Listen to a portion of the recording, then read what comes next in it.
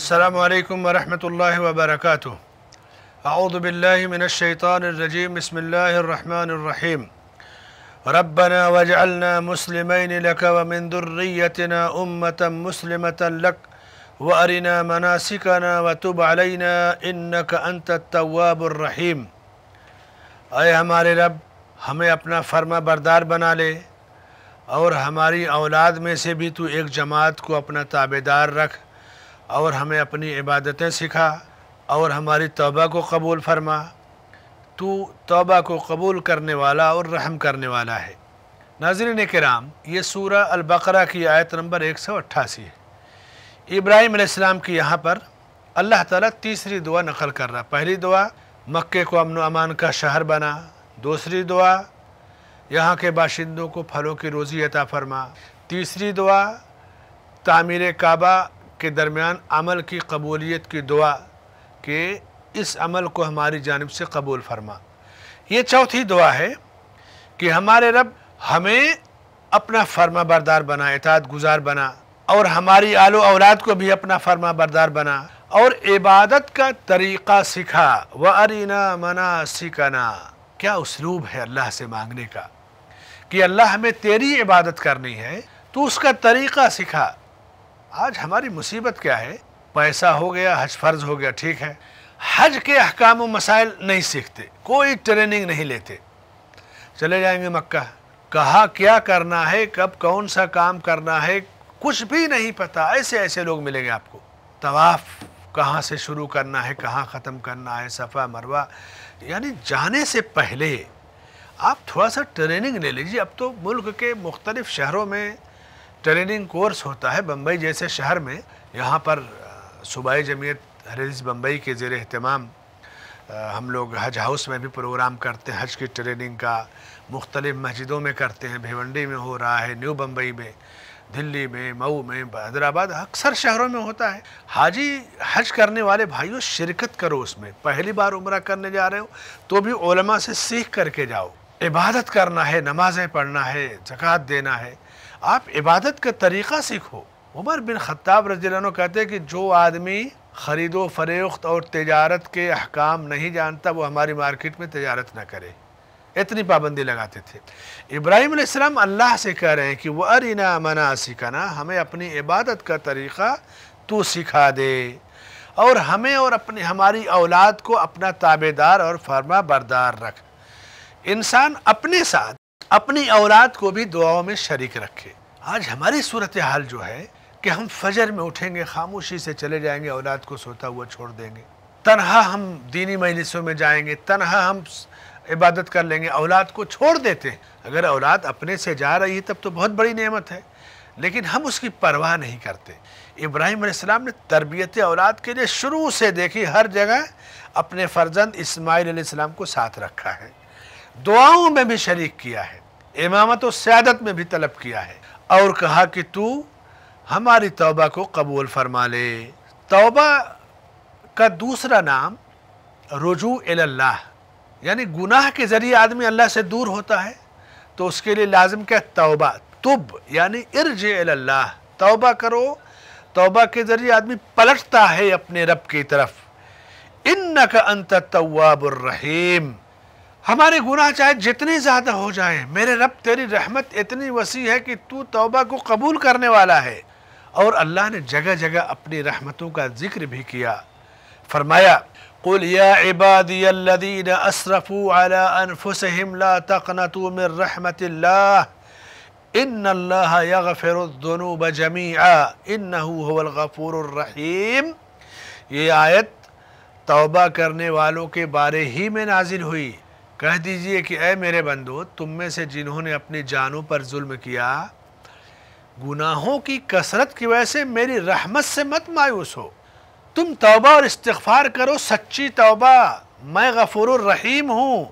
اللہ کے رسول صلی اللہ علیہ وسلم فرماتے ہیں کہ توبہ کرنے سے توبہ کے پہلے کے سارے گناہوں کو اللہ تعالیٰ معاف کر دیتا ہے۔ اور اس کے بعد بندے کی توبہ سے اللہ تعالیٰ خوش ہوتا ہے۔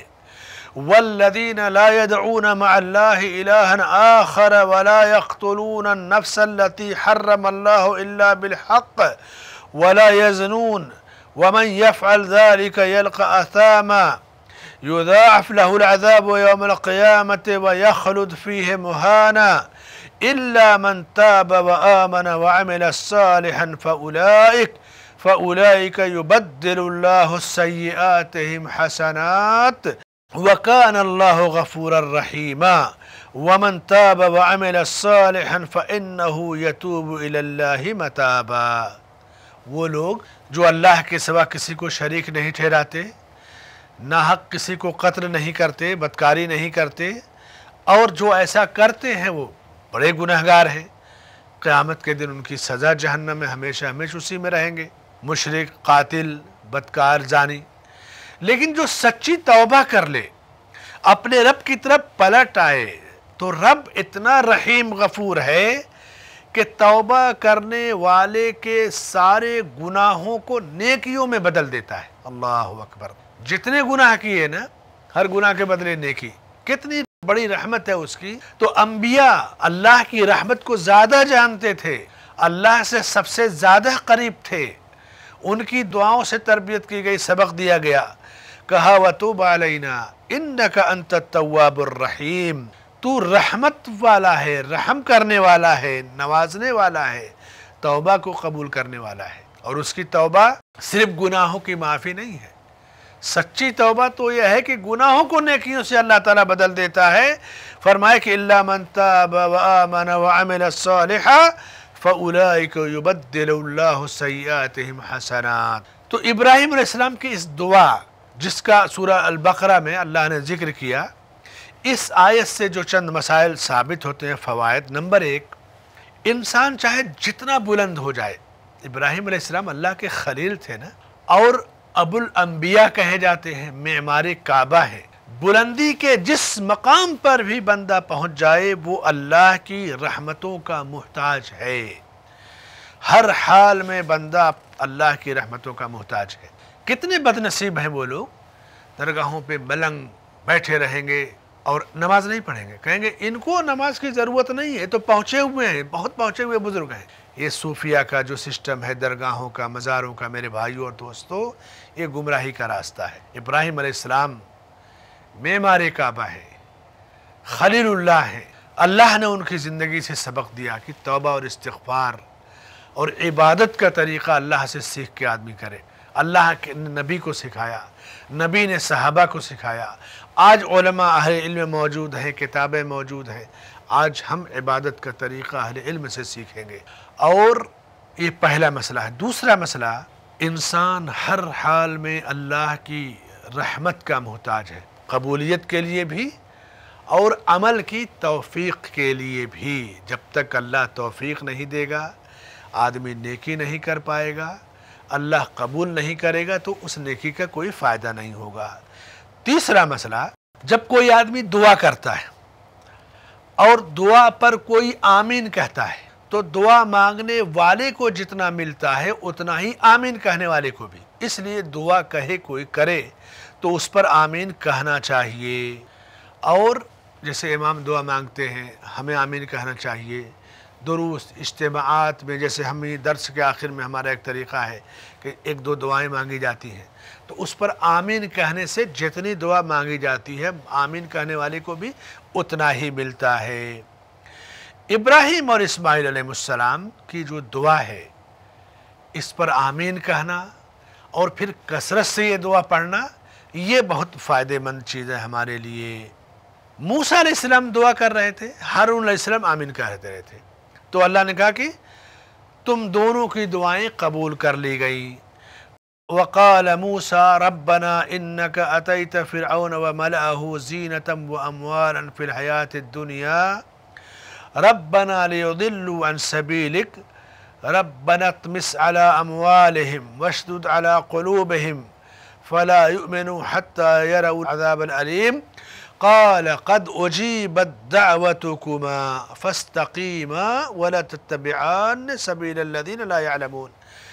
موسیٰ علیہ السلام نے دعا کیا، ہارون علیہ السلام نے آمین کہا، اللہ نے کہا، تم دونوں کی دعائیں قبول کر لی گئیں پھر ان کے ہلاکت و تباہی اور بربادی کے بارے میں۔ چوتھا مسئلہ جو شاید سے ثابت ہوتا ہے ابراہیم علیہ السلام کی فضیلت، مقام و مرتبہ کی بلندی۔ پانچواں مسئلہ جو شاید سے ثابت ہوتا ہے، انسان جب بھی دعا مانگے، اپنے لیے پہلے مانگے اور پھر اپنی اولاد کے لیے ضرور مانگے۔ رب اجعلنی مقیم الصلاة ومن ذریتی۔ ابراہیم علیہ السلام اپنے لیے اور اپنی اولاد کے لیے کریں کہ ہمیں نماز قائم کرنے والا بنا۔ وجنبنی وبنی ان نعبد الاسنام، مجھے اور میری اعلی اولاد کو بت پرستی سے بچا لے۔ انسان اپنے لیے اور اپنی اولاد دونوں کے لیے دعا مانگے۔ اور ویسے بھی والدین کی دعا اولاد کے حق میں اللہ تعالیٰ قبول فرماتا ہے۔ چھٹا جو مسئلہ ثابت ہوتا ہے کہ علم چاہے جتنی زیادہ ڈگریاں ہو جائے انسان کے پاس، اللہ کی بندگی اور عبادت کا علم اللہ کے ذریعے ہی بندہ سیکھ سکتا ہے۔ اور اللہ نے نبیوں کو سکھایا، نبیوں نے اپنے شاگردوں کو اور امتیوں کو سکھایا۔ کون سی ڈگری آپ کے پاس ہے؟ کس میں پی ایچ ڈی ہے؟ فرشتے اس کے بارے میں نہیں پوچھیں گے۔ رب کی بندگی، تمہارا رب کون ہے؟ تمہارے نبی کون ہے؟ تمہارا دین کیا ہے؟ اس کے بارے میں سوال ہوگا۔ ساتواں مسئلہ جو شاید سے ثابت ہوتا ہے کہ اللہ کے ہاں عبادتوں میں سب سے اہم عبادت نماز ہے، جس کو اللہ نے وقت کی پابندی کے ساتھ فرض کیا۔ وقت کی پابندی لگائی۔ اسی لیے فرمائے کہ ان الصلاة كانت على المؤمنین کتابا موقوتا۔ نماز مومنوں پر وقت کی پابندی کے ساتھ فرض کی گئی ہے۔ اسی لیے اہل علم لکھتے ہیں کہ کبھی بھی وقت سے پہلے اذان نہیں دینا چاہیے۔ کیوں؟ گھروں میں عورتیں ہیں، اذان سن کے نماز پڑھتی ہیں۔ مریض ہیں، اذان سن کے نماز پڑھیں گے گھروں میں۔ تو آپ اگر وقت سے پہلے اذان دے دیے تو جماعت تو بھلے ٹائم سے کھڑی ہوگی، لیکن جو لوگ گھروں میں نماز پڑھ رہے ہیں، اذان سن کر انہیں کیا پتا کہ بے وقت اذان ہوئی ہے۔ تو ان کی نماز درست نہیں ہوگی، کیونکہ وقت سے پہلے، جیسے مغرب سے پہلے اذان دے دیا۔ تو مغرب میں تو عام طور سے دن ڈوبنے کا آدمی خیال کر لیتا ہے، کبھی غلطی سے دے دیا یا ظہر اثر میں۔ کسی بھی نماز کا وقت ہوئے بغیر اذان نہیں دینی چاہیے۔ اس پہ بہت بڑا دھوکہ ہو سکتا ہے، لوگوں کی عبادتیں ضائع ہو سکتی ہیں۔ تو اس لیے وقت کی پابندی کا خیال کرنا چاہیے۔ اور مؤذن کی جو صفات ہیں، ان میں ایک ہے نا کہ مؤذن امانت دار ہو، آواز اچھی ہو، تو امانت یہی ہے کہ وقت کا پابند ہو۔ ساتواں مسئلہ جو اس آیت سے ثابت ہوتا ہے کہ انسان چاہے جتنی بلندی پر پہنچ جائے توبہ اور استغفار سب کو کرنا چاہیے۔ گناہگار، نیک اچھا سب کو کرنا چاہیے۔ اللہ کے رسول صلی اللہ علیہ وسلم فرماتے ہیں کہ لوگوں اللہ کی بارگاہ میں توبہ کرو۔ فَإِنِّي أَتُوبُ إِلَى اللَّهِ فِي الْيَوْمِ مِئَةَ مَرَّةِ۔ میں دن اور رات میں سو بار اللہ کی بارگاہ میں توبہ کرتا ہوں۔ ابراہیم علیہ السلام دعا کر رہے ہیں کہ وَتُوبْ عَلَيْنَا۔ اور ہماری توبہ کا قبول فرما لے۔ توبہ اور استغفار گناہگار گناہوں سے کرتا ہے۔ نیک آدمی نیکی کرنے میں جو کمی یا خلل ہے، اس کمی خلل کو اللہ توبہ سے دور کر دیتا ہے۔ جیسے آپ نے نماز پڑھی، سلام پھیرنے کے بعد تکبیر کہہ کے استغفر اللہ کہتے ہیں، تین بار استغفر اللہ استغفر اللہ استغفر اللہ ظاہر سی بات ہے کہ نماز تو اللہ سے قربت کا سب سے بڑا ذریعہ ہے۔ آپ کہیں گے، یہاں توبہ اور استغفار کی کیا ضرورت ہے؟ بھی تو نیکی کر کے ہم فارغ ہوئے ہیں۔ نہیں میرے بھائی اور دوستو یہ آداب نبی نے سکھائے۔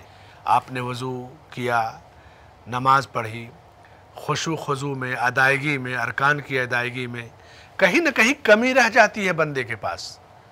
توبہ سے اللہ اس عبادت میں جو کمال ہونا چاہیے، اس کمال کی کمی کو پورا کر دیتا ہے۔ اور گناہگار کے گناہوں کو بخش دیتا ہے۔ تو نیک ہو یا برا، سب کو توبہ کی ضرورت ہے۔ اور اسی لیے توبہ کو رجوع اللہ کہا گیا ہے۔ توبہ کے لیے پانچ شرطیں ہیں۔ پانچ شرطوں کا ہونا ضروری ہے۔ وَتُبْ عَلَيْنَا اور ہماری توبہ قبول فرما۔ پہلی شرط، توبہ کرنے والا مخلص ہو۔ اخلاص نیت سے توبہ کرے۔ اللہ کی بارگاہ میں خلوص سے توبہ کرے۔ کسی ڈر، کسی کے ڈر اور خوف سے توبہ نہ کرے۔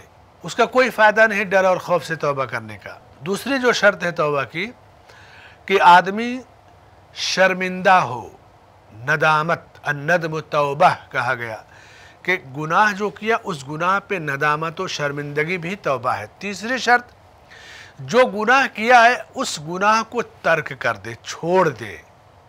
چوتھی شرط، آئندہ اس گناہ کو نہ کرنے کا وعدہ کرے۔ اللہ سے کہ اب میں یہ گناہ نہیں کروں گا۔ پانچویں جو شرط توبہ کی ہے کہ توبہ کو توبہ کے وقت میں کیا جائے۔ توبہ کا وقت کب تک ہے؟ سورج کے مغرب سے نکلنے سے پہلے۔ یا جب جان نکل رہی ہوتی ہے آخری وقت جاکنے کا، اس وقت کی توبہ قبول نہیں ہوتی۔ جب آدمی آخری وقت میں ہے تو اس کی توبہ کا کوئی فائدہ نہیں۔ وَلَيْسَتِ التَّوْبَةُ لِلَّذِينَ يَعْمَلُونَ السَّيِّئَاتِ حَتَّى إِذَا حَدَرَ أَحْدَهُمُ الْمَوْتُ قَالَ إِنِّي تُبْتُ الْآنِ۔ اللہ اس وقت کی توبہ نہیں قبول فرماتا ہے۔ جب موت سامنے ہے اور کہے کہ میں نے توبہ کر لیا۔ نوہ جو مسئلہ اس آیت سے ثابت ہوتا ہے کہ اللہ کے اسما اور صفات جو اسماء حسنہ ہے اللہ سے مانگنے میں ان کا وسیلہ طلب کیا جائے۔ جیسے توبہ کے لیے اللہ کی کس صفت کا، کس نام کا وسیلہ طلب کیا ابراہیم علیہ السلام نے؟ انکا انت التواب الرحیم۔ توبہ کو قبول کرنا، رحمتوں سے نوازنا۔ یہ اللہ کی صفت بھی ہے اور اللہ کے نام بھی ہے۔ اللہ تواب بھی ہے، رحیم بھی ہے۔ تو مغفرت طلب کرنے کے لیے اس کے ان ناموں کا واسطہ دینا، وسیلہ دینا اللہ تعالیٰ اس سے خوش ہوتا ہے۔ دسواں جو مسئلہ ثابت ہوتا ہے اس آیت سے ان دونوں ناموں کا اس بات تواب اور رحیم اللہ کے دو نام ہیں، جو اللہ اللہ تعالیٰ اپنی بندوں بندوں کی توبہ قبول کرتا ہے، رحمتوں سے نوازتا ہے، اور اس کی رحمت ہی ہے کہ گناہگار کو عذاب دینے کے بجائے اس کی توبہ کو قبول کرتا ہے۔ اور ہمیں کثرت سے اسی لیے توبہ کرنا چاہیے۔ ایمان والوں کے لیے اللہ نے بڑی سراحت سے کہا کہ وَقَانَ بِالْمُؤْمِنِينَ رحیمہ، ایمان والوں کے ساتھ بہت رحم دل ہے۔ تو اس رحمت کا تقاضا یہ ہے کہ ہم اللہ کی بارگاہ میں ہمیشہ توبہ کرتے رہیں۔ یہ ابراہیم علیہ السلام کی دعا دعا کے آداب، دعا کا طریقہ، زندگی گزارنے کا سلیقہ، اللہ کے کاموں کی حکمت کہ ربنا وجعلنا مسلمین لک ومن ذریتنا امتا مسلمتا لک، وارنا مناسکنا وتب علینا انکا انت التواب الرحیم۔ اللہ تعالیٰ سے دعا ہے کہ اللہ تعالیٰ ہمیں توبہ کی توفیق عطا فرمائے، ہمارے توبہ کو قبول فرمائے۔ اور ابراہیم علیہ السلام جیسی توازو ان کی جیسی توحید، اطاعت اور اولاد کی جو فکر انہوں نے کیا، ہمیں بھی اپنی اولاد کی ویسی ہی فکر کی توفیق عطا فرمائے اور ہماری توبہ کو قبول فرمائے اور ہمیں اعمال صالحہ کی توفیق عطا فرمائے، ہمارے اعمال صالحہ کو قبولیت عطا فرمائے۔ آمین۔ و صلی اللہ علیہ نبینا محمد وعلی آلہ وصحبہ اجمعین۔ ناظرین کرام، سورہ البقرہ کی آیت نمبر ایک سو اٹھائیس کے بعد ابراہیم علیہ السلام کی اب پانچویں دعا، آیت نمبر ایک سو انتیس میں بیان کی گئی ہے۔ انشاءاللہ ہم اگلی مجلس میں پانچویں دعا کے ساتھ حاضر ہوں گے۔ جب تک کے لیے اجازت دیجیے۔ والسلام علیکم ورحمۃ اللہ وبرکاتہ۔